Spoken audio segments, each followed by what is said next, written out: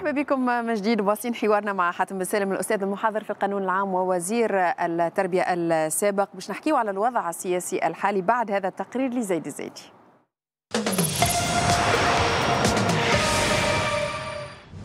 منذ الخامس والعشرين من جويليا الماضي والمشهد السياسي في تونس يلف الغموض دخلت معه مختلف الأطياف السياسية مرحلة من الترقب لمآلات الأوضاع في البلاد رغم توسع ركب المعارضين للإجراءات الاستثنائية المعلنة من طرف رئيس الجمهورية قيس سعيد واللي أعقبها بإصدار الأمر الرئاسي عدد 117 المتعلق بالتدابير الاستثنائية والتنظيم المؤقت للسلط.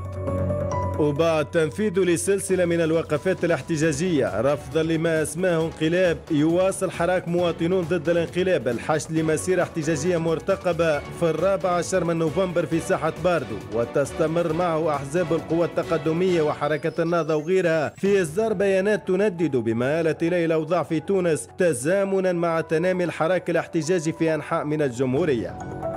ورغم تعهد رئيس الجمهورية قيس سعيد منذ أسابيع بإطلاق حوار وطني لمناقشة النظامين السياسي والانتخابي في محاولة جديدة لحل الأزمة السياسية في البلاد فإن عديد القوى السياسية شككت في جدوى هذا الحوار في ظل الشروط اللي يفرضها الرئيس. من جانبه طالب الاتحاد العام التونسي للشغل أثناء انعقاد الهيئة الإدارية بضرورة إنهاء الغموض اللي يخيم على الوضع العام ووضع خارطة طريق تنهي الإجراءات الاستثنائية وتحقق الاستقرار السياسي والاجتماعي.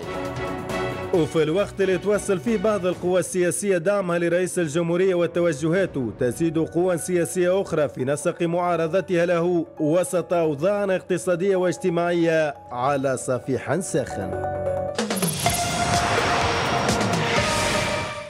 حاتم بن سالم باش ننطلق معاك من مسار 25 جويليا لأنه أول مرة باش تعطي رأيك تدلي بدلوك في المسألة هذه وما كانت لكش تصريحات إعلامية سابقة. خلينا في لو نبدأ من هوني.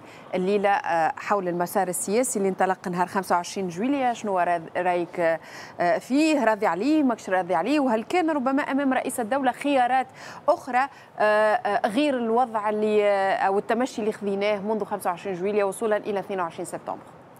أنا من 2011 صرحت وكتبت وتابعت اعتماد الدستور بتاع 2014 وكنت ضد هذا الدستور لأني أعتبر أنه ماهوش معقول باش دستور الآباء المؤسسين بورقيبة وعلي بلهوان صادق المقدم وجلولي فارس وغيرهم يتلوح في الزبلة ويتفرض علينا دستور القصاص وبن تومية أنا كنت ضد هذا أول حاجة. ثاني حاجة كنت أعتبر أن الدستور هذا كأستاذ قانون دستوري. قريت أكثر من 12 سنة القانون الدستوري. كنت أعتبر أن الدستور هذا هو الدستور وقلت قلت في ملتقيات في تونس أن الدستور هذا ما ينجمش يخلق الديناميكية الحقيقية ويوضع الأسس الموضوعية باش نكونوا ديمقراطية حقيقية تونسية. ما ينجمش. وحب نحكي للتاريخ. وقت اللي تعينت في 2015 مدير عام المركز الدراسات الاستراتيجية التونسي. مشيت المرحوم الله يرحمه وينعمه سي الباجي قايد السبسي. مشيت له في أول أسبوع من جويليا. قابلته. قلت له سي الباجي وبحضور سي سليم العزابي اللي فكرته في الموضوع هذا. قلت له سي الباجي أنت دخلت للتاريخ أما كان تحب تدخل التاريخ من بابه الكبير ما يلزمكش تقبل النظام السياسي اللي وضعه الدستور هذايا. أعطيني الإمكانية أنا كمدير هذا المعهد مدير معهد الدراسات الاستراتيجية أعطيني الإمكانية باش نخرج نقول كلفني الرئيس في إنشاء لجنة باش تفكر في وضع نظام سياسي جديد. الله يرحمه سلباجي قال لي مش وقته. الإشكال إشكال نظام سياسي. وأنا أعتبر أنه القرار اللي خذاه الرئيس قيس سعيد يوم 25 جويليا قرار كانوا الناس الكل يترقبوا فيه. أنا نقول حتى تأخر في اتخاذ القرار هذاك. كيفاش طبق الفصل 80 وبأي طريقة؟ هنا نقطة استفهام وتأويلات كثيرة. تأويلك أنت. تأويلي أنا هو شوف فما يقولوا في اللغة باللغة الفرنسية l'interprétation téléologique معناها معناها التأويل حسب الهدف المنشود. إذا كان نمشيو في طريقة التأويل حسب الهدف المنشود معناها l'interprétation téléologique القرار صائب. إذا كان نمشيو في قراءة ضيقة للفصل 80 بطبيعة الحال فما مشاكل كبيرة حول هذا حول تطبيق هذا الفصل. وين لازم نمشوا إحنا أنا تحكي عن نقابات بكري أه الاتحاد عيط لي مع مجموعة من من من الخبراء الأخرين. قعدنا في جلسة حول خريطة الطريق باش نقدموها رئيس الجمهوريه وأنا اقتراحي كان واضح. اقتراحي هو يلزم نساندوا عملية 25 جويليا ولكن يلزم يتوضع وقت معين لانتهاء الإجراءات الاستثنائية وفي خلال الوقت المعين هذايا يلزم نساندوا ونعاونوا الرئيس إيش باش يعمل؟ أول حاجة لجنة خبراء في القانون الدستوري توضع قانون جديد للانتخابات. وهذا راهو يمكن وضعه في ظهر في في في في ظرف شهر. شهر ونص نكون عندنا قانون جديد. الأساس نتاع القانون الجديد للانتخابات هو أنه يلزم يخرج أغلبية اللي غدوة تنجم لمدة خمسة سنوات تنظر وتشرع في البرلمان. والأغلبية هذه ما, ما فماش ديمقراطية تتبنى بدون أغلبيات. هي كيفاش باش هو مفهوم الرئيس إلى حد اللحظة رئيس الدولة ما فتحش الباب أمام هالتشاركيه هذه؟ لا لا, لا أنا قلت لك أنا حبيت أنا حبيت لو كان جيت أنا قلت لك حبيت والله تو هذا نقاش مهم. وقاعد تقول فيه ياسر الناس نعملوا لجنة نعملوا حوار نعملوا غير. إحنا توا من 2011 سيد الوزير تحكم فينا اغلبيه ما عمرناش مرة حكومة طاحت في البرلمان. لا شوف عمرناش مرة مشروع قانون ما تعداش في البرلمان. الاغلبيه الأغلبية موجودة هي. الأغلبية هذه أغلبية هشة فراجيل. علاش؟ خاطر وصلت بقانون انتخابي توضع توضع باش في كل الحالات الحزب اللي يتمكن من أكثر مقاعد ولو ما عندوش الأغلبية ينجم هو يسيطر بصفة نجم نقول ديكتاتورية على مركبه الأغلبية هذه. فهمت؟ donc فما فما كيما فما كيما حاجات des techniques électorales اللي اللي يلزم نفهموها واللي يلزم تعرف اللي هي اللي تمكن في البرلمان من مثلا blocage من إيقاف عمليات معينة. ما دام الأمر كذلك. دونك أنت حكيت على قانون انتخابي جديد يشرع لي سيطرة الأغلبية بالمعنى الإيجابي معناها. بالمعنى الإيجابي معناها هي مفهوم الديمقراطية شنو الديمقراطية هي حكم الأغلبية ولكن باحترام آراء ومواقف الأقلية متفق معك. أنا نتفق مع المبدأ هذا. أن تكون فما كتلة كبيرة تحكم وعلى مدى يعني على خماسية مثلا وتمسك هي بزمام الأمور بمقاليد الحكم وتتحاسب هي. تتحاسب تتحاسب على كل شيء. تتحاسب بالانتخابات. لكن المشكل سي حاتم اليوم رأي الساحه السياسيه فوسي فوساء أي لكن أنا ما وشظايا. ما, ما ثماش حزب اليوم ينجم يحصل الاغلبيه أنا نتصور غدوة الشعب التونسي إذا كان تفسر له إيش معناها هالقانون الانتخابي جديد وعلاش يلزم أغلبية. فما إمكانية كبيرة باش تخرج غدوة أغلبية. وراهي الأغلبية تو شو تعطيك ألمانيا. خذ خذ مثال ألمانيا. بون شاسع موجود ما بين الاشتراكيين وما بين المسيحيين. ميركل والاشتراكيين. ولكن هما اللي حكموا المانيا هما اللي حكموا ألمانيا. معناها هذا القانون الانتخابي يلزم يكون زاد الائتلافات الائتلافات السياسية. خاطر ما ينجمش تقعد البلاد متقطعة ومتشتته بين عديد الأحزاب. هذاك علاش أنا إيش قلت قلت مثلا اللجنة هذه القانون الانتخابي هذا يمكن من إخراج أغلبية أما حزب واحد ولا على الأقل زوز أحزاب عندها وزنها في البلاد تلتف حول بعضها وتعمل ال socialistes ولا communistes في فرنسا وقت ميتيران. le programme commun فهمت؟ معناها موجود في تاريخ الشعوب الكل. علاش أنا قلت هكا؟ خاطر وقت اللي تجي عندك أغلبية في برلمان تنجم تغير بصفة شرعية النظام السياسي. ما عادش تفرض أنت غدوة باش تعمل استفتاء. لا غدوة الأغلبية هذه هي اللي باش تقرر اللي نظامنا السياسي باش يتطور مثلا للنظام الرئاسي. هل حاتم بن سالم مع النظام الرئاسي ولا الإبقاء على النظام بدون أي تردد مع النظام الرئاسي اللي فيه محاسبة. إيش معناها فيه محاسبة؟ يعني. معناها نظام رئاسي الشرط الأول وال وال وال والهام هو أنه حتى رئيس ما نجم يقعد أكثر من 10 سنوات معناها مرتين deux fois. خمسة deux mandats وهذه ما تنجمش تغيرها كقاعدة من قواعد ال- الدستور هذه أول حاجة. وثاني حاجة ثاني حاجة يلزمك تحاسب الرئيس على سياسته. كيفاش تحاسبه؟ تحاسبه بالانتخابات. هذيك هي الديمقراطية. هذاك هو أساس الديمقراطية. الديمقراطية مش موعود. الديمقراطية مش حكايات. الديمقراطية مش أحلام. الديمقراطية هي واقع سياسي معاش. أحنا وجود حزب اللي تعرفوه واللي ادخل م- سامحني في الكلمة مشتاق السلطة وفهم اللي السلطة هي النفوذ والت- والتنفذ والتنمر هذه هي نتيجته.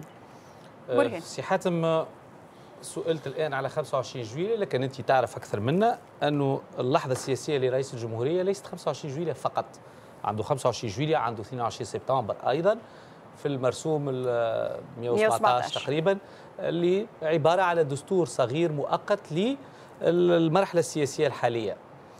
ثم أيضا لا يخفى عليك ال- اليوم رئيس الجمهورية الجميع يتبنى 25 جويلية لأنها حققت أهداف آه، طيف سياسي واسع.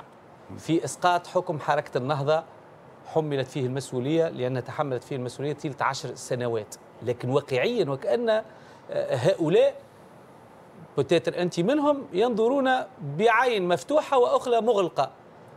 وما يحبوش يستوعبوا حقيقة مشروع رئيس الجمهورية رغم أن الرئيس ولا ليس لديه أي عقدة وبكل أريحية يتحدث عن المشروع. حدثوا على الحوار قالوا لهم إيه أنا مع الحوار لكن مش مع ذوما الخبراء وال آه، ولا الاتحاد ولا المنظمات. أنا باش نعمل حوار إلكتروني مع الشباب والجهات. آه، الديمقراطية كما يتصورها الرئيس. وجماعة كل مرة يمنيوا أنفسهم أن الرئيس راهو ماشي معنا في نص الطريق اللي حشنا به نحن باش نبدلوا قانون انتخابي نبدلوا نظام كذا ردوه نظام رئاسي. الرئيس يبدو أنه تصوروا هذا انسجاما مع روحه منذ الحملة الانتخابية في 2019 عنده رؤيته للديمقراطية القاعدية لتغيير القانون الانتخابي نوليه التصويت على الأشخاص مش على الأحزاب. التمثيلية داخل البرلمان هي تمثيلية للجهات ماهيش تمثيلية للأحزاب. هنا نحب نفهم موقفك من هالحزمة هال- هالرزمة الكاملة لمشروع رئيس الجمهورية؟ شوف برهان ال ال الإجراءات اللي خذاهم رئيس الجمهورية يتحمل هو مسؤوليتهم. والإجراءات هذه ما تنجم تكون عندها معنى وزن إلا ما تكون في إطار الشرعية. هذاك علاش الشرعية لازمها ترجع. شنو هي الشرعية؟ هي- الشرعية شنو هي؟ الشرعية هي حل البرلمان هي قانون انتخابي جديد حل البرلمان انتخابات. كيفاش تشريع- وحل البرلمان. شنو يعني كيفاش شرعيه وحل البرلمان لا لا لا إحنا إحنا شوف. إحنا ما نخرجوش من مفهوم الفصل 80 أي. مفهوم الف... la logique لا. logique استنى ما فيها ما فيهاش حل برلمان أي. ولكن كما قلت ب l'interprétation téléologique حسب الأهداف الأهداف اللي ترسمها أنت انت نفسك انت, أنت يعني شوف أنت. قعدت الشرعية الوحيدة الموجودة كانت فما زوج شرعيات شرعية البرلمان وشرعية رئيس ال- الجمهورية. شرعية رئيس الجمهورية أنت في ال... في ال- السيناريو السياسي الجديد قعدت فما شرعية واحدة ما نجموش إحنا نقعدوا نخموا شرعيات أخرى شو يلزمنا؟ يلزمنا نرجعوا شرعية أخرى تنبني على قانون انتخابي جديد برلمان جديد اللي هو الوحيد هو يغير البرلمان الجديد البرلمان الجديد موجود لا- لا- السياسية لا- هذه اللي موجودة لا يا خليفة لا أه. وقت اللي تجيب برلمان جديد فيه أغلبية كان مشات الأغلبية هذه مع أفكار رئيس الجمهورية الجمهورية. هذيك الشرعية وهذيك الانتخابات وكل واحد يتحمل مسؤوليته في آخر المطاف إذا كان ما مشاتش معاه فما كلام آخر اما اما, أما يقرر شنو اللي حاتم. أما شنو اللي بيه يعني هذا الأحزاب اي لا لا لا. مش الأحزاب هو هذا الخلاف بين لا، الرئيس بالعكس، وبقية الطائف لك بالعكس، نعمل بالعكس. حوار لا، بالعكس. الشعبي المفتوح أنا ضد أنا أنا. شخصيا ضد الحوارات أي. أما شو نحب أنا أنا نحب نحب الديمقراطية تطبق بحذافيرها إيش معناها الورقه هذيك اللي تتحط في الصندوق هذيك هي اللي تفصل بين الناس الكل إذا كان فصلت لفائدة رئيس الجمهورية هنيئا له. ولكن إذا فصلت بطريقه أخرى زاد يلزمنا ناخذوها بعين الاعتبار. إيش يلزم؟ يلزم القرارات اللي باش تتخذ فيما يخص مستقبل تونس مستقبل الشعب التونسي. يلزم القرارات هذه تكون مبنية على شرعية مش قرار شخص واحد مهما كانت شرعيته. يلزم غدوة برلمان جديد هو اللي يمشي في طريق واضح. اللي باش يقرروا علاش خاطر هو عنده شرعية الشعب هو وقع انتخابه وقع التوازن ما بين السلطة التنفيذية والسلطة التشريعية ووقتها النجموا النجموا نتكلموا على بناء ديمقراطية مهما كانت القرارات اللي سوف. تتخذ داخل البرلمان ولا من طرف رئيس مس... أي يلا أه، باش نتعداو نقطة أخرى نجي شنو مصير الدستور؟ تو رئيس الجمهورية تقريبا جمد معناها عمل بالدستور ال- ال- من من مش بالدستور بكل لكن على الأقل من أهم وظائف البرلمان الجديد هو تلقيح الدستور. يلزم مراجعة الدستور. يلزم مراجعة الدستور. آه، يتراجع الدستور من طرف البرلمان. في إطار إجراءات معينة؟ البرلمان نعم. الجديد باش يعمل هذا سي نعم. شنو الضمان؟ البرلمان الجديد ما قلنا يعمل- ما قلنا كله- أغلبية. أي هذه الأغلبية تطلع وسامحني. ضد رئيس الجمهورية. وحاجة مثلاً أخرى حاجة يعنيناش. أخرى. عندك الأغلبية. وعندك أنت البرنامج السياسي اللي باش تقدمه للشعب. قدموا كلهم برامج. لا لا غدوة أنت الأحزاب اللي باش تطلع. كي تقول أنا مانيش باش نلقح الدستور. والشعب ينتخبها. هذيك هي هو الديمقراطيه هو قالوا هاي الشكشوكه هو مأزق. لا لا ما زلنا في شكشوكه بالمايونيز وهات نقول لك علاش عملنا الانتخابات.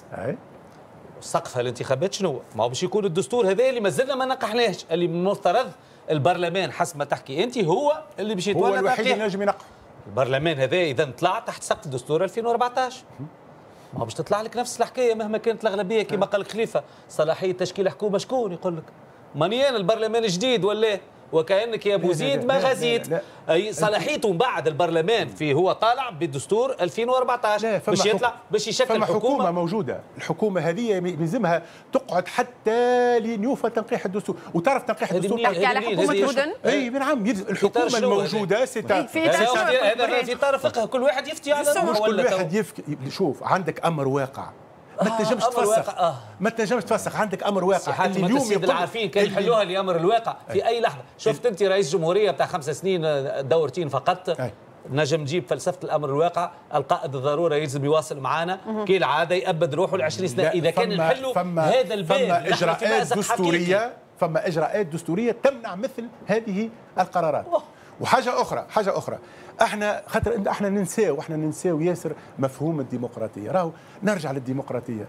راهو إذا الشعب إذا الشعب حب روحه باش يمشي يدخل في حيط كي نخليوه. الشعب الش- الش- الشعب هو اللي حب.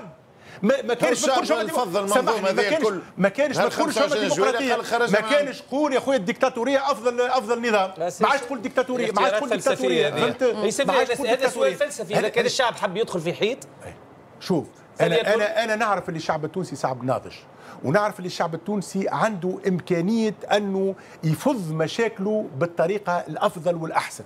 هذاك علاش أنا نأمن اللي غدوة لو كان توقع انتخابات تشريعية تخرج أغلبية اللي تمكن الشعب التونسي باش يعبر على إرادته عبر مجلس النواب نتاعو واضح. حاتم بسالم آه انت تحكي على مستقبل البلاد. المستقبل البلاد يتطلب إصلاحات كبرى ونحكيو على حكومة بودن اللي جات في ظرف استثنائي اليوم والتحدي الأكبر أمامها هي إيجاد التمويلات اللازمة لميزانية ال- ال- الدولة وملف الإصلاحات الكبرى والمفاوضات مع المانحين ال- الدوليين.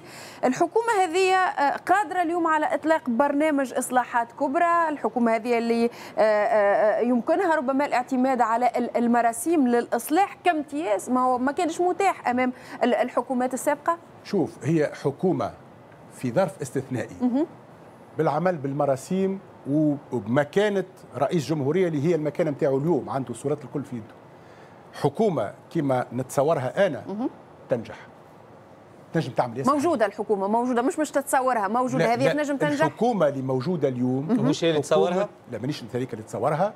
حكومة حكومة تصريف أعمال. شنو احترازاتك سي حاتم؟ لا احترازاتي شوف في حكومة يلزم أول حاجة الكاريزما يلزم التجربة يلزم الرؤية يلزم اتخاذ القرار بدون تردد. هذا ما تنجمش يكون في حكومة اللي خذ الإخوان الموجودين كل مع كل احترامي لهم أنا الأخت نجلة بودن كانت مديرة عامة معايا وقت اللي كنت وزير التعليم العالي بالنيابة. ونحترمها وإنسانة طيبة وباهية وكذا. ولكن اليوم اليوم تونس تونس جابه تحديات عمرها ما جابهتهم في تاريخها. من ال commission financière نتاع نتاع نتاع قبل ال- ال- الاستعمار. عمرها تونس ما جابها تحديات سياسية اقتصادية اجتماعية حضارية ثقافية حتى معناها identitaire عمرها تونس ما جابت. تونس يلزمها l'équipe nationale. ويا بابا الله نخلطه ويا بابا الله نخلطه أنا إيش حبيت حبيت بعد 25 جويليا الر- الرئيس قيس سعيد يلم الكفاءات بتاع تونس بغض الطرف عن انتماءاتهم. وعلى يلم كفاءات تونس يعطيهم خريطة طريق يقول لهم نحب بعد عامين ولا بعد عام نوصلوا للمستوى هذا. إحنا ما نحبوش الأرقام وننساو ديما الأرقام. شوف أنا الأرقام حاجة هامة جدا. 2010 2010 الناتج الخام التونسي كان 46 مليار. اليوم مليار دولار. اليوم 10 سنوات من بعد الناتج الخام التونسي 35 مليار دولار.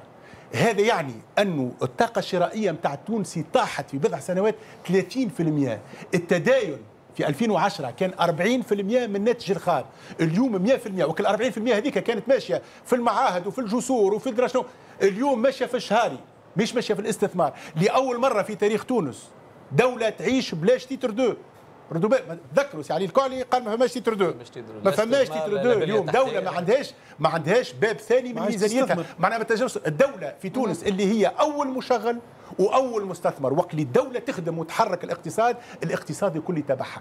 ما تنجمش تمشي في الطريق هذايا إذا ما عندكش ناس اللي عندهم التجربة ومحنكين وينجموا يغيروا الأشياء. خاطر إحنا حشتنا حشتنا على أرض الواقع التونسي بسرعة. يحس اللي فما حاجات تغيرت يحسك التململ وك الأيادي المرتعشة وكل شيء. هذاك الكل يتحط على جانب وفما ناس خذات زمام الحكم سواء رئيس الجمهورية ولا غير خذات الحكم وقاعدة تخدم باش تبني مستقبل التونسي. اليوم اليوم ما نجموش نبنيو مستقبل تونس وقت اللي إحنا نعيشوا في إطار دولي اللي ماهوش متماشي معنا قلة خبرة تحكي على قلة خبرة قلة خبرة. معناها انعدام الرؤية تماما. العلاقات والشبكات يا أخي راه مش سهل. مش سهل. أنت كي تمشي لبلاد يلزم وزراء صحابك وتعرف وشكون اللي جورناليست وتعرف الواحد هزيتني هزيتني هزيتني المحور الثالث سي حاتم بن سالم. هذاك إيش حبيت نقول آه. مع كل احترامي ومع كل تمنياتي بالنجاح للفريق هذا. ولكن الوضع في البلاد ما يتحملش التربص والتجربة والتأني ما يتحملش هذا. هذه التغيرات الداخلية لكن إحنا زاد ماناش بمعزل عن التغيرات الإقليمية والدولية كيفاش يلزمنا زاد نتفاعلوا مع الملف. هذايا هذا موضوع النقاش ومحور النقاش في هذا الجزء الأخير. بعد هذا التقرير لرانيا محرسي.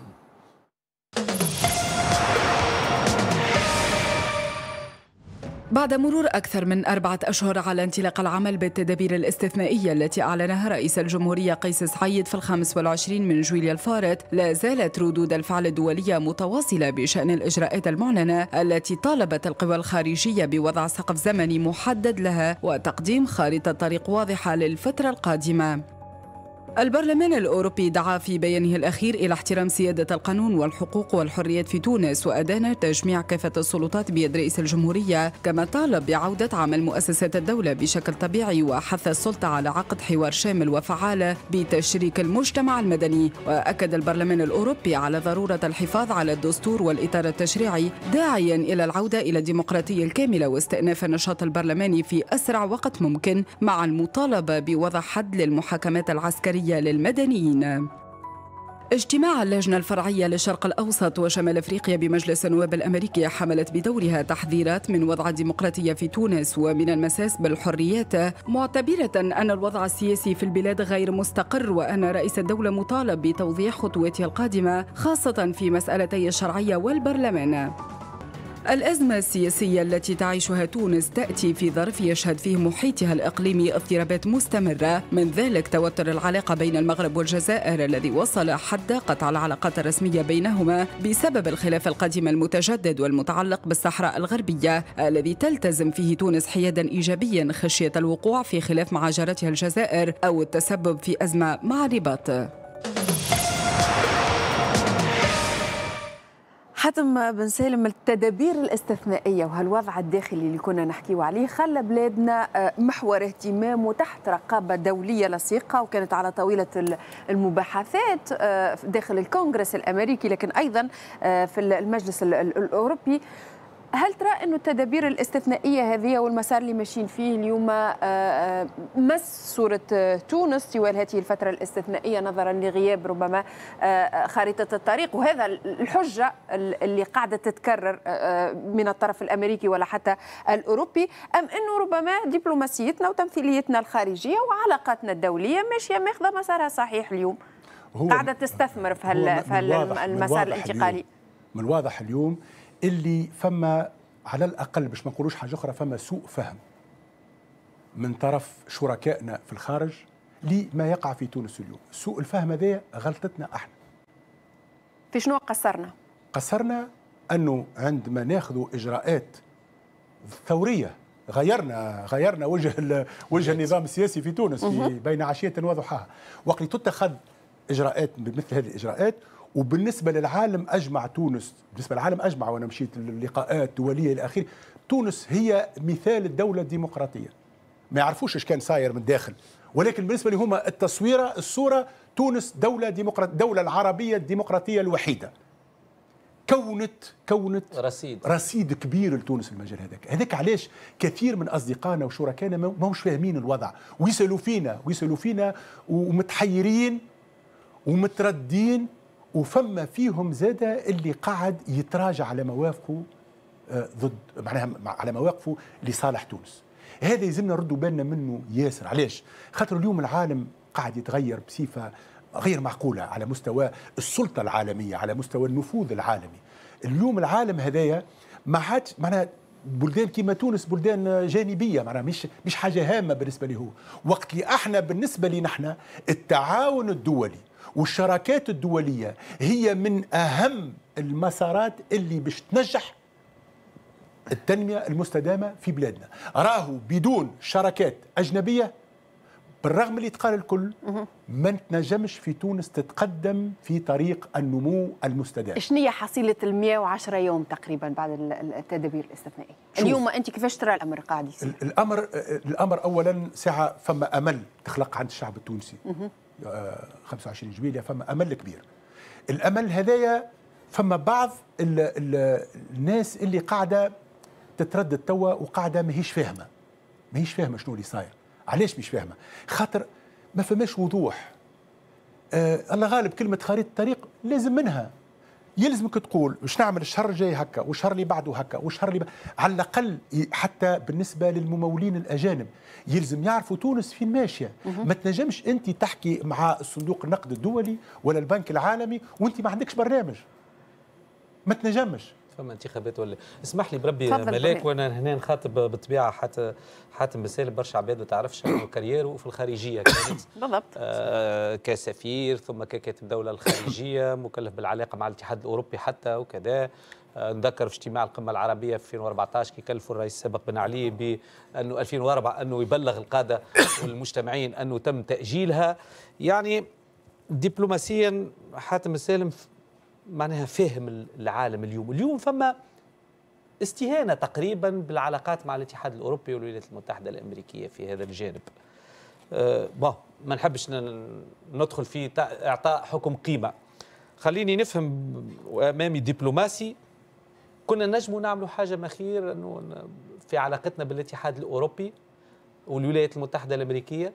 كنا نجم نكونوا موجودين في البرلمان الأوروبي وقت اللي تم مناقشة لائحة من النوع هذه تقلق ما تقلقش اليوم الوضعية اللي موجودة في بلادنا وإلا لا.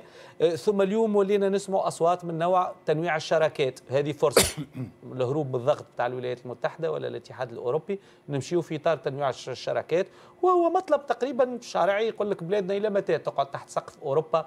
كشريك أول وأخير في نهاية الأمر بما يعنيه ذلك حتى من تدخل في سياساتك الداخلية وقصة السيادة مرة أخرى. هات نمشيو شنو المشكلة؟ نمشيو للصين نمشيو لآسيا نمشيو لشراكات جديدة. تقييمك للكلام هذا. أه شوف اليوم باش نتخلاو على شراكاتنا التقليدية وخاصة على علاقتنا مع الاتحاد اروبي هذا معناها ما نتصوروش. للدرجة هذه؟ آه ما نتصوروش. لأنه اليوم لازمك تعرف اللي ما يقارب ال 75% من صادرات تونس و75% من وارداتها الاتحاد الأوروبي. اليوم شريك تقليدي وبالثقل المالي والتقني لأنه فما assistance technique importante كي الاتحاد الأوروبي اليوم تقعد تترقب في دول أخرى وتقعد تترقب. ما تنجمش تغيره على كل حال ما تنجمش تغيره بسرعة.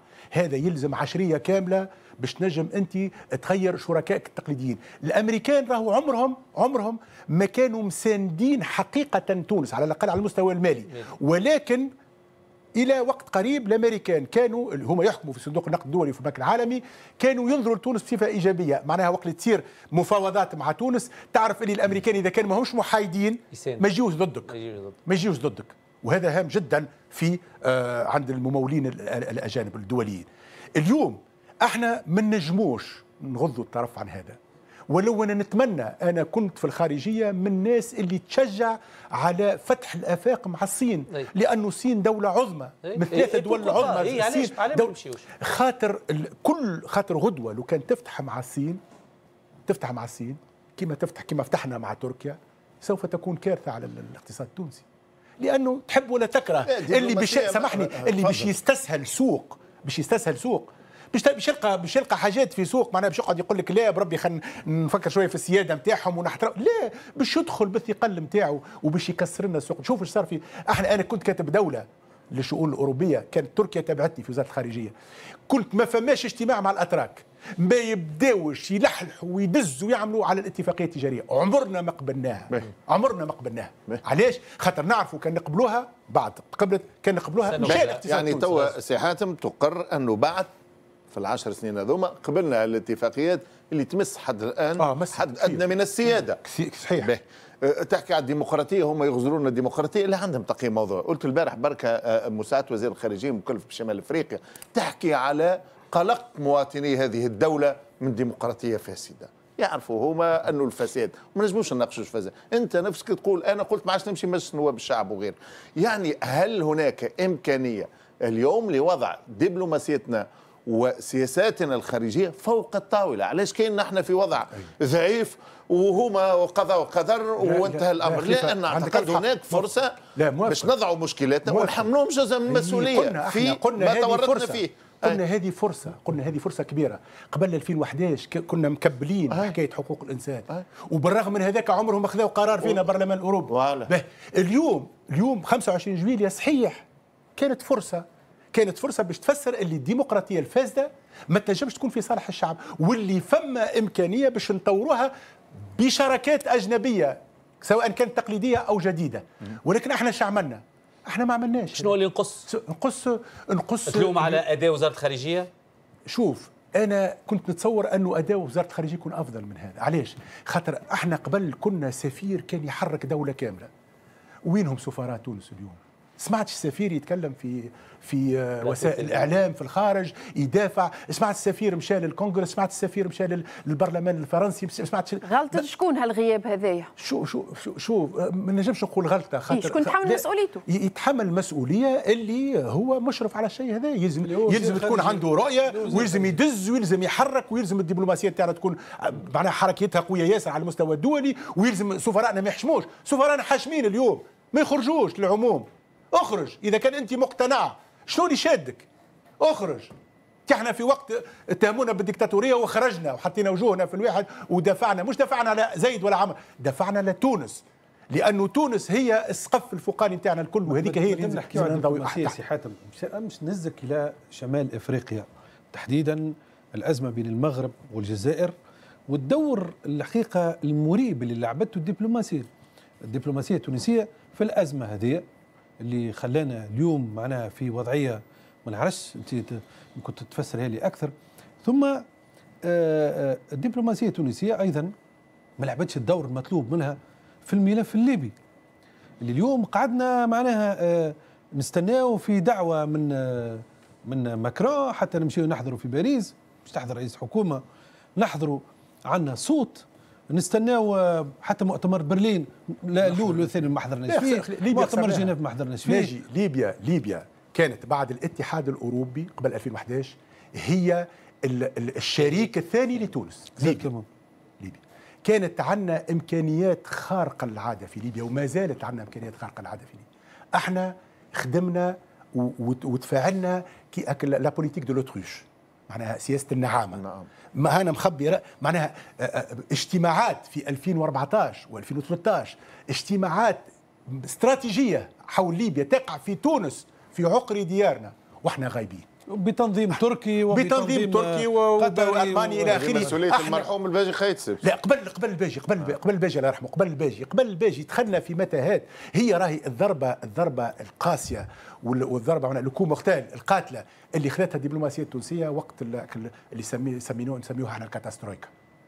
آه، معناها ب- معناها بدون منازع اللي هو بدون وقت بدون منازع. وقت الاصطفاف. وقت اللي تونس كانت يلزمها تكسب دبلوماسيا ودوليا. إحنا جبنا كجماعة جاوك جماعة هذوكم ولا هذو بالله. وهذاك علاش تحت تحت الدبلوماسية نتاعنا واليوم اليوم معناها فرصة كبيره فرصة كبيرة باش اليوم المثال التونسي يتقدم. يتقدم للعالم ويتقدم بطريقة موضوعية. ولكن إذا كانت رؤية النظر زاد رؤية واضحة. ما تنجمش تجي آه، رئيس جمهورية يستفرد بكل القوى وتجي تقول لا راهو هذاك لا ما تجيش كاكا. يلزم نرجعوا نرجعوا كما قلت بكري الشرعية معينة يلزم الكلمة ترجع للشعب باش حتى الرئيس اللي هو عنده شرعية معتبرة الرئيس ينجم كي ياخذ قرارات ياخذها على أساس قوي. اليوم مثلا نرجع للمغرب ولا الجزائر ولا justement أكبر أكبر أكبر غلطة دبلوماسية. التصويت بتاعنا؟ التصويت أكبر علاش؟ غلطة. علاش خاطر هذه جارنا الجزائر هذا قرار نقول انت أسمع هذا قرار كل عام يتجدد. يتجدد. كل عام تو عشرات السنين. تونس تصوت لصالحه؟ مش صالح صالح القرار معناها إيش معناها صالح القرار. لا ضد الإخوة الجزائريين ولا ضد الإخوة المغاربة. اليوم اليوم فما وضع معناها فما وضع كارثي اليوم في البحر الأبيض المتوسط. هي البحر الأبيض المتوسط اليوم هي هي النقطة المفقودة في رؤية آه، دول آه، آه، جنوب البحر الأبيض المتوسط. اليوم شنو اللي صاير؟ اليوم لأول مرة في خمسة سنوات من 2010 ل 2015 16 كانت معناها البحر الأبيض المتوسط الهجرة الإرهاب إلى آخره. اليوم اليوم تنقلت نوعية الصراعات ولات صراعات بين دول. ما تنساوش صار ما بين تركيا واليونان كلامات. ما تنساوش صار ما بين تركيا وفرنسا. ما تنساوش شنو اللي صاير اليوم ما بين المغرب والجزائر. راهو وضع خطير جدا. وإحنا حياتنا كاملة حياتنا كاملة الدبلوماسية بتاعنا كانت تلعب الدور اللي يسميوه الأمريكان the honest broker معناها الوسيط الثقة معناها اللي غدوة لو كان يستحقونا يلقاونا ونجموا نبنيو إعادة علاقة أخرى ما بين تحكي على معطيات تغيرت سي حاتم. يا أخي شنو هذه ثوابت مقدسة؟ اليوم أصبحت مصلحتك الاستراتيجية في دبلوماسية الحدود. أنا حدودي مع شكون؟ مع الجزائر؟ لا سامحني. إذا خلينا تونس دولة المرة هذه في, لا لا لا لا الصراع. وأنت كنت تلوم على سياسة النعامة هذه مع الجميع لا لا والجميع مانيش مع الجميع. لا لا لا. يلزمني نخلي مكانتي الدبلوماسية كاملة باش غدوة وقت يلزم أنا نتدخل.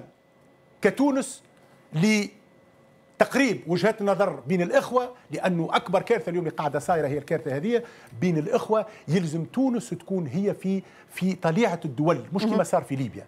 هذا ما تنجمش تعملوا وقت اللي أنت جيت بعد عشرات السنين. مازال فما مجال فما exemple بسيط سيب ياسر اليوم اليوم أنا نعرف. غلطه غلطة بالنسبة ليك فتال؟ استراتيجية. استراتيجية فتال إن شاء الله لا. لكن غلطة استراتيجية علاش؟ خاطر خلقت لا يمكن تدارك. خلقت عند الإخوان شو يعرف نهار التصويت هو لأنه إحنا عضويه في مجلس الامن لا كان يق... كان يقعد على موقف المغرب. يا خليفة. لا لا لا يا خليفة كان يقعد. كنا نقعد على موقفنا نتاع عشرات السنين اليوم. حتى يأتي حتى غدوه بيمشي سيد رئيس الجمهورية السيد قيس سعيد عنده رؤية أخرى عنده بعد آخر. ولكن علاش تفسدها بعملية كيما هذه اللي هي في آخر المطاف؟ شنو اللي باش تجيب لك؟ في آخر المطاف شو باش يجيب. شو يا أخي؟ إحنا قبل كنا ما كنا متعاركين مع الأخوة الجزائريين بالعكس. معناها العلاقة الحميمة علاقة الأخوة علاقة الصداقة علاقة الشراكة ما بين تونس والجزائر راهو ما ينجم يغيرها ويمسها حتى حد هذه هذه علاقة شعبية. وشفتوا أنتم شعب الجزائر وقت اللي رخت بينا البلاد وصار صار. شفتوا كيفاش جاوا لتونس وشفتوا إيش عملوا في تونس وكيفاش عاونونا. اليوم مش هذا الموضوع. الموضوع أنت عندك ثوابت عندك ركائز. للدبلوماسية نتاعك. صحيح الركائز ذيك كسرتهم ال catastroïka. صحيح. ولكن اليوم أنت حقك جيت في وقت معين وقفت وقفة اللي باش تمكنك غدوة باش تلعب الدور الفيصل في معناها في صراع اللي هو راهو راهو صراع ينجم يكون خطر داهم حقيقي على المنطقة طبعا الكل. تكون عنده تداعيات كبيرة. باش باش نخرج من exemple سي حاتم بن سالم أنا استسمحك ناجي وقبيله الموضوع هذايا أثار جدل حتى بين الزملاء برهان وخليفة وناجي. مسألة لقاء على أثر لقاء رئيس الحكومة نجلة بودن في باريس بالرئيس المصري عبد الفتاح السيسي. نلقاو بلاغ في للرئاسة المصرية. من بين النقاط اللي أوردها فيه إنه رئيسة الحكومة تكون تقول إنه بلادنا تهتم بالاستفادة من قصة النجاح المصرية الملهمة بقيادة عبد الفتاح السيسي. الجملة اللي ما نلقاوهاش في بلاغ الحكومة التونسية اليوم. كيفاش تقرأ هذايا؟ مرض. علاش مرض؟ علاش علاش يوافقك في نفس الموقف أنا عشت حاجة عشت حاجة. يلزم التاريخ يعرفها. 2004 2004 قمة ال- ال- ال- الجامعة العربية. جاء الرئيس مبارك آنذاك. وكان فما سفير مصري اسمه مهدي. مهدي فت... آه، مهدي اسمه مهدي. كان سفير كان سي آه، آه، مبارك كان يسكن في ديار الضيافة هذوكم اللي في قمرت أنا كاتب دولة للشؤون المغاربية والعربية. كلمني مهدي. كلمني مهدي السفير السفير- المصري أنا ذاك تعرف قال لي قال لي توا الرئيس مبارك خرجت من الرئيس مبارك كان جالس حول ال- piscine حول المسبح. عيط له الرئيس مبارك. تعرف قالوا؟ قالوا أنت سفير مصر في تونس نحبك تفسر لي هالنجاح الباهر هذايا بإمكانيات ضعيفة كيفاش تونس نجحت وولات عندها المستوى هذا نتاع التقدم ونتاع التنمية. هذا 2004 هذا عشتها أنا وهو السفير المصري مازال حي. حسني مبارك وقت شك شك, شك التنظيم هذاك والشيء هذاك وتونس والحركية هذا إيش قال حسني مبارك. اليوم نجيو نستلهموا. إذا كان صارت ربما ماهيش صحيحة راهو. بلغ رئيس إذا- الحكومة إذا ما- كان صار. إذا كان صار أنا كقديم كقديم. كقديم نحسها ياسر ونتوجع منها. علاش؟ خاطر كنا حاجة أخرى. اسمح لي اسمح لي ملاك باش نعمل mélange de genres وبعد إذن السيد رئيس التحرير بين للتاريخ وال rendez-vous في حتى في ثواني ودقائق. علينا في منبرنا. تفضل سي فريد. ليلة ليلة قرر الرئيس بن علي تأجيل القمة. آه، آه، كيفاه تم مخاطبتك إنك أنت تمشي تاخذ البلاغ وتتليه على الوزراء الخارجية المجتمعين. وهل بالفعل وقتها هو كان يتبع فيها هو والعقيد معمر القذافي مباشرة العملية هذيك ولا لا؟ لا العقيد القذافي ما عنده حتى دخل في الموضوع. أيوة. ما عنده حتى دخل في الموضوع. هذا قرار اتخذ في الساعة الواحدة بعد الزوال. هو خرج في التسعة ونص تاع الليل هذاك عليه في 9 ونص ذاك خرجت ليلة. القرار تو نحكي نهار اخر أما في ساعه بسرعة. أي،. القرار ناداولي في رئاسة الجمهورية. جلسنا حضرنا البلاغ هذاك ماضي ساعة. علاش؟ علاش حضرنا البلاغ هذاك؟ خاطر في ما في ما في معناها نص النهار ماك تعرف جدول الاعمال الجامعة العربية فيه 187 نقطة, نقطة. إحنا ما زلنا النقطه الثانية ما دخلنا لهاش معناها مستحيل كان تكملوا. وحسينا حسينا اللي فما نوعا ما من ال sabotage. تو نقول نهار آخر ما عاد شكون. ولكن حسينا إن فما نوعا ما من ال sabotage. إيش صار وقتها؟ عيطوا لنا عيطوا لي أنا. كتبنا كل ال- ال- ال- البيان هذاك. رجعت أنا رجعت أنا وزير الخارجية آنذاك كان هو اللي يترأس الوفد التونسي وكان داخل في ال في, ال في الاجتماع. آه، أعلمناه بالقرار ولكن كي خرج آه، ما نعرفش علاش خرج روح. مشى وقت اللي خرج راحوا فما حتى حد وقتها كلموني أنا قالوا لي أنت هو اللي تخرج وأنت تتكلم في البلد. لكن هذا راهو بسرعة كبيرة لكن أكيد فيها تفاصيل. فيها تفاصيل كبيرة وتفاصيل توريك. للتاريخ هذه. استضافة للتاريخ. وقت اللي وقت اللي خذينا القرار هذاك وقت خذا القرار هذاك.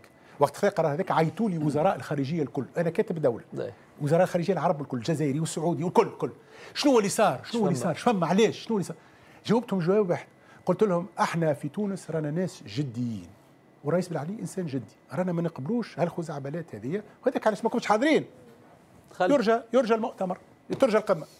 تو simplement تأجيل قمة الفرنكفونية والجدل اللي صار والكلام اللي تقال ووصلنا حتى إلى آه، بطاقة جلب دولية في حق الرئيس السابق محمد المنصف المرزوقي. كيفاش تبعتوا الجدل هذا؟ أنا أنا تبعت الحق بكل بكل احتراز لأني شوف أنا نأمن بحاجة اللي عشتها واللي واللي تظلمنا فيها إحنا. تظلمنا فيها إحنا الناس نتاع قبل 2011 ولو أنا من بعد وليت وزير ولكن فما ناس رجالات دولة اللي اللي اللي عطاوا اللي عندهم في قلوبهم اللي خدموا البلاد اللي ضحاوا اللي في الأخر لقاو رواحهم في الحبوسات ومشردين. كفاءات تونسية تلوحت تلوحت بك ال- اك الديجاج هذيك نتاع الجهلة اللي خرجوا بها. فهمت؟ هذيك هذاك معناها فسر فهمت حاجة أنه الإقصاء اراه أكبر غلطة توقع. اراه في الساحة السياسية التونسية مهما كان الحزب أرى أنا شخصيا ضد كل إقصاء لا حزبي لا شخصية لا معناها يلزم الناس الكل هي شنو المشكل نتاعنا إحنا. وعلاش أنا هنا أختلف مع رئيس قيس سعيد؟ أنا لو كان جات ليدي أنا كنت نمشي لتوحيد الصف التونسي. لأنه كما قلت الرهانات اليوم الرهانات راهي ما تقبلش ما تقبلش التشتت هذا يلزمنا الكل يد في اليد يلزمنا الكل مع بعضنا. إذا كان ماناش مع بعضنا ما نجموش نجابه. راهو لا جبهة داخلية صعيبة جدا إفلاس كامل للدولة ولا جبهة خارجية اللي هي تترصد فيك سواء كان بصفة دبلوماسية ولا بصفة أخرى. أنا ضد هذه بطاقات الجلب الدولية. مهما كان السيد ما, ما, ما حرية التعبير يلزم تكون مضمونة بصفة كاملة. إحنا اش قاسينا وش مرضنا قبل على خاطر الحكاية هذه. وقداش حبينا باش الأمور كما هذه ما تصيرش قبل 2011 ولكن صارت بضغوطات وبلوبيات أخرى.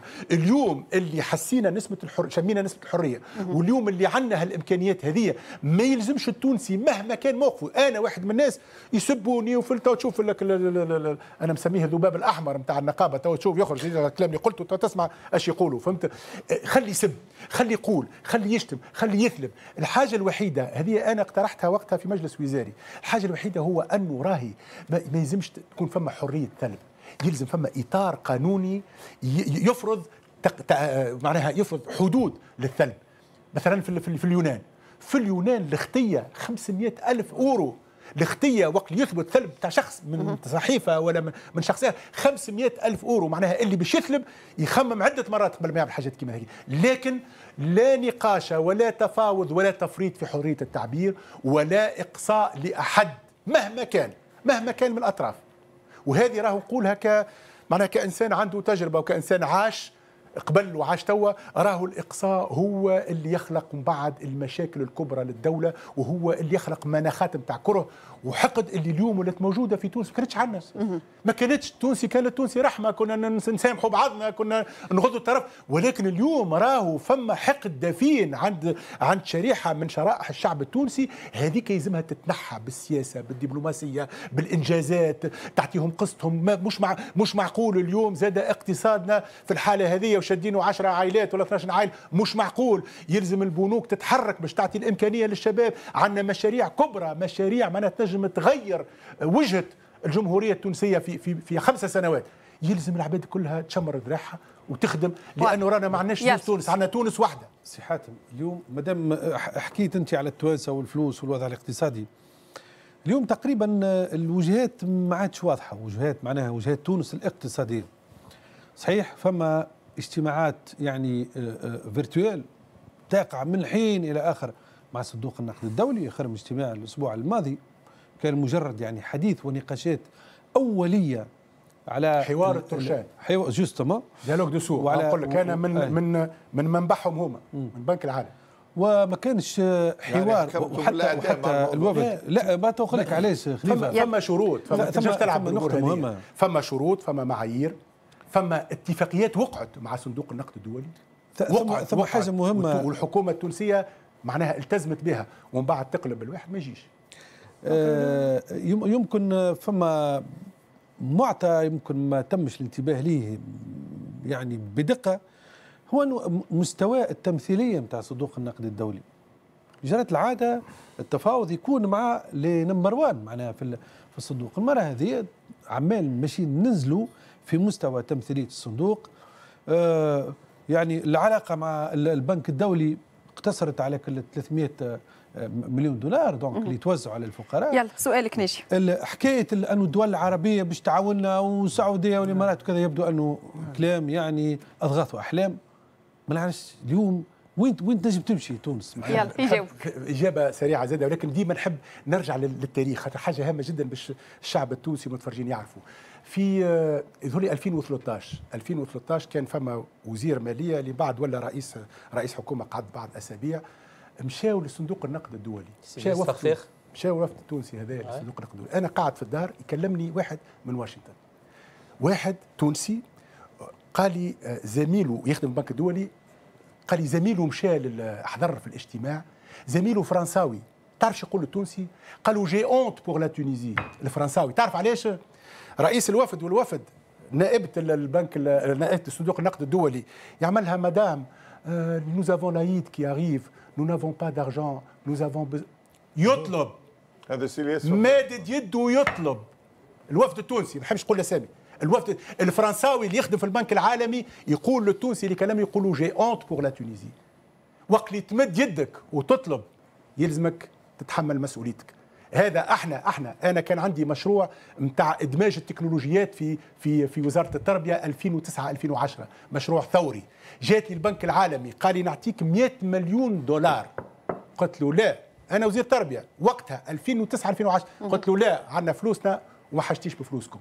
وقتها الراجل قعد باهت. ممثل البنك العالمي وقتها في تونس. 100 مليون دولار. علاش؟ خاطر تونس كانت كانت تخ- شوفوا أسمعوا سي توفيق بكار وأسمعوا غيرهم أنا مش اختصاص. معناها تونس كانت محترمة على المستوى الدولي في المستوى المالي اليوم راهو اللي يفكر باش غدوة ال- الصندوق النقد الدولي خاطر البنك العالمي راهي سامحني في الكلمة ما- ما عندوش الثقل نتاع صندوق النقد الدولي. الصندوق النقد الدولي باش يقبل يرجع حقيقة طاوله المفاوضات وباش يعطي راهو ما يكونش بلاش. راهو فما شروط باش يفرضوها. تقبلها واضح. ولا ما تقبلهاش. يلا نختموا معك سي حاتم بن سالم بفقرة رأيك فيهم. مجموعة من الصور كل صورة في كلمتين تعليقك عليها. تفضل.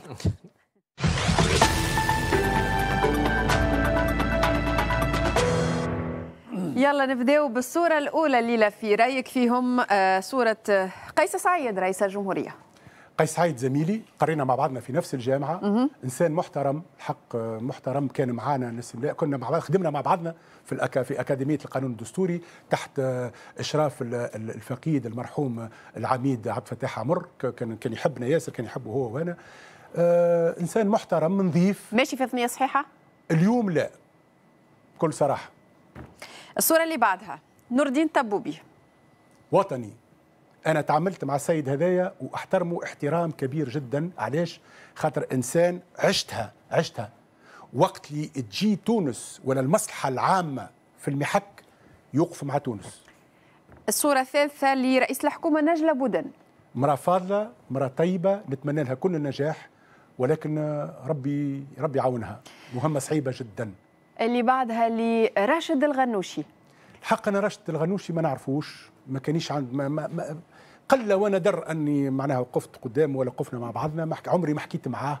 مرة برك تو نحكيها نهار آخر. في على على الدستور. على الدستور. أنا قلت له قاعد بحذايا قلت له كيفاش تلوحوا دستور الأباء المؤسسين وتحطوا دستور دنتوميه والقصاص اللي قلتها بكري؟ القصاص ما استناش هذا استنى الدستور. استنى نعرف. أما هو. من الجماعة اللي كانوا في هي. السؤال ونحترموا راهو القصاص. ما عندي حتى شيء ضد القصاص. أما معناها ما عنديش علاقة معاه. أنا أظن انه شنو جاوبك سي حاتم؟ نعم؟ شنو جاوبك؟ قلت له جاوب تعرف قال لي قال لي آه، الدستور هذاك معمول على مقاس بورقيبة. غزرت أنا لسي رفيق بوشلاك آه رفيق دستور 59 آه، 59 سي رفيق بن عبد السلام قاعد قدامنا في الأفريكا. غزرت له قلت له سي رفيق دستور أكبر من أكبر دول العالم فرنسا أكبر الدول الديمقراطيه في العالم معمول على مقاس شكون؟ على مقاس جنرال جنرال دوغول وبالرغم من هذاك يجي ميتيران آه، العدو الألد بتاع جنرال دوغول وما مسش ما لوحش الدستور الفرنسي. واضح. الصورة اللي بعدها لنبيل القروي. ما نعرفوش ما عندي حتى اتصال به حتى معرفة به نعرفه كراجل إعلام. آه غلطات غلطات رئيس فاتحة. حزب قلب تونس آه أيضا. أي غلطات فاتحة قام بها معناها. أنا ندخل الحبس وما نهربش. بكل صراحة إذا كاني أنا نعرف روحي ثقة ونظيف وما عندي حد شيء ندخل شبيه السجن ها ولا لا- لا- لا- لا- الشخصيات الكل داخلة للسجن. أما ما نهربش بالطريقة هذيك وأنت رئيس حزب. تتح... هو خلط ما بين البزنس وال- والسياسة. والنتيجة كانت هالوضع المأساوي هذايا مسكين خاطر أنا ما نتمنى حتى حد حتى الإنسان الشيء اللي قاعد واقع عليه هو والخوه الصورة الموالية لعبير موسي. مراه شجاعة. ما نتفقش معاها في ياسر حاجات. لكن مراه شجاعة في وقت اللي إحنا الكل وخرنا هي قاعدة الوحيدة اللي دافعت على العائلة الدستورية. لكن عبير موسي فما نقول لها في الحياة السياسية راهي فما نقلة نوعية يلزمها توقع. اللي هي؟ معناها يلزمك في وقت من الأوقات تولي امرأة دولة. هذا مازال ما مازال يلزم شوية وقت وتجربة وربما شوية زاد مراجعة نفس والاستماع واضح. للآخرين. لكن نحب نأكد على أني أنا من غير ما ما عنديش صحبة ياسر معاها ولكن كنت متضامن معاها كنت متضامن معاها وما قبلتش أنه في برلمان كيما هذاك امراه بك الحجم هذاك يكون يصير لها اللي صار لها هي. نجي جلول.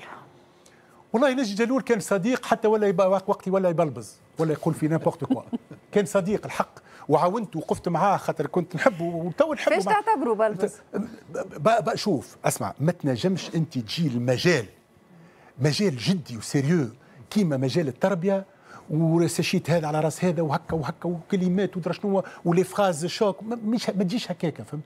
ما تجيش هكاك هو مشى بنيته وبقلبه وحب يعمل. لكن هذيك هي طبيعته وهذيك هي واحد وأنا واحد من الناس بالحق. صديقي وهكا هو ما. نقول له هكا هو ما سألش. محمد الحمدي شنو تقول له؟ آه إنسان ماهوش ماهوش في مستوى المسؤولية اللي كان فيها مع الأسف.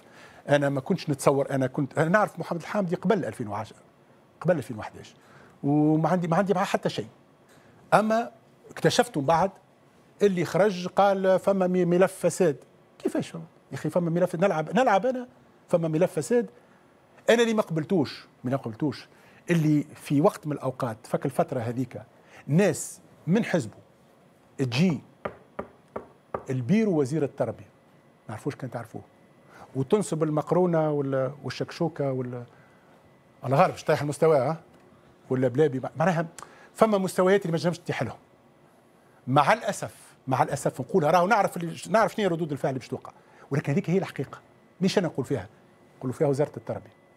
donc أنا الإنسان اللي يجي يحب معناها يصفي حساباته من غير ما يعرف العباد أنا ما عملت حتى شيء. شيء ما عملت لك بالعكس قبلتك وعملت لك حفل استقبال ونصحتك وأعطيتك اللي عندي. مع... تجي أنت أنا حياتي كاملة حياتي كاملة وأنا نجري بالرغم كل شيء. باش باش عمري من ما يقولوا هذاك فاسد ولا به ولا عليه. كيفاش رجعت أنا بعد 2011 كان جيت فاسد. مرة أنا تحكمت وتحدثت في الحبس.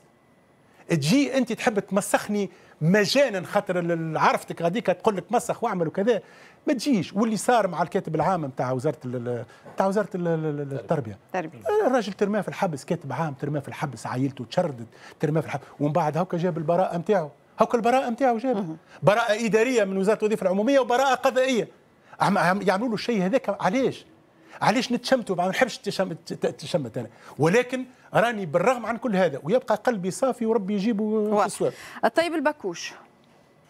طيب بكوش ما نعرفوش بكدا ولو هو صديق آه معناها جاته فرصة فرصة كبيرة ياسر.